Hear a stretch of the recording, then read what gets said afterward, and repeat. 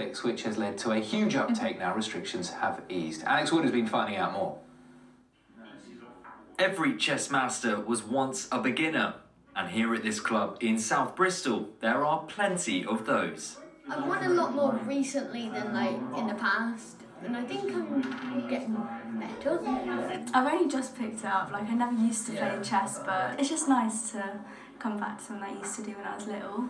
I started playing chess when I was five, but I took a two-year time out off chess.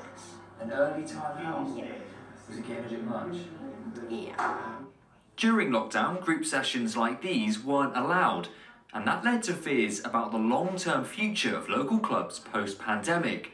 But stuck at home and with nowhere to go, it seems many of us turned to the board.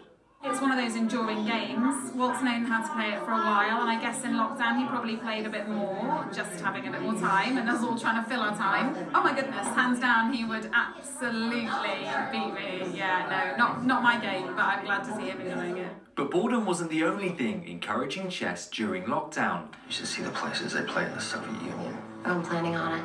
Millions of us were introduced to it by The Queen's Gambit, which was a hugely popular series on Netflix about a young chess prodigy. It may have been fictional, but the chess wasn't. The Queen's Gambit, unlike other films about chess, was actually quite realistic. Uh, the chess on it was, was accurate. Uh, they were advised by grandmasters about how to do it, and yet it was a great story at the same time.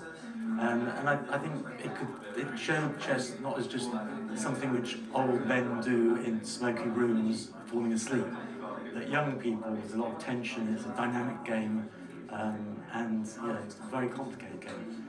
Well, complicated it may be at a competitive level, but at club level it seems chess is something to enjoy.